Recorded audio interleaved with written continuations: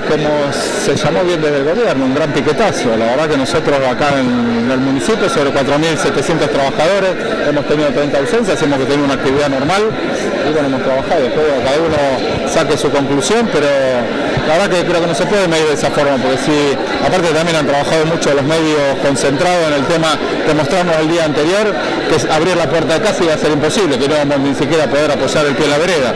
Así que bueno, todo eso hizo que mucha gente no salga, pues la verdad que parecía un fin de semana, no fue una cuestión de acción que tenga que ver con una ovación a los que convocaron al paro, sino con una situación de comunicación que se dio con respecto a cómo iba a estar planteada la situación geográfica de cada una de las casas y la imposibilidad de transitar.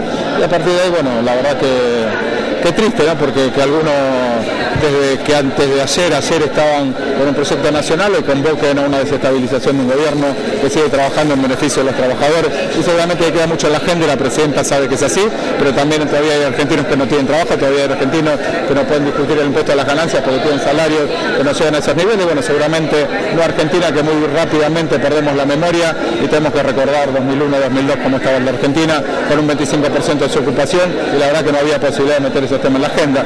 Y por suerte en el crecimiento de la Argentina se pueden meter nuevos temas y está bien que cada uno de su sector pelee por eso. el presupuesto y también en la Asamblea de Grandes Contribuyentes algunas modificaciones en las tasas. ¿Cuenta el oficialismo con el número, la cantidad de votos para poder convalidar estas iniciativas? Sí, vamos a tener la aprobación del presupuesto con aprobación de la fiscal impositiva.